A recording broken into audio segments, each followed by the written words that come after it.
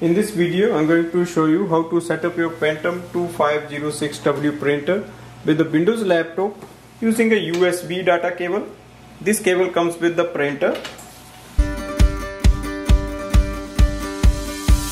Connect one end at the back of the printer and the other end to your laptop. You can also load the paper for printing.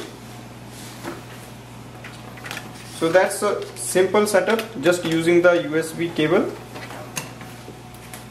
we can just double check if it's installed or not. Go to the settings. Go to the start button and click on the settings. Select bluetooth and devices printers and scanners. If you scroll down your printer should have installed itself.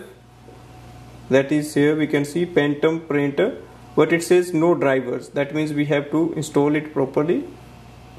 Click on the add device select select your Pantum printer add device.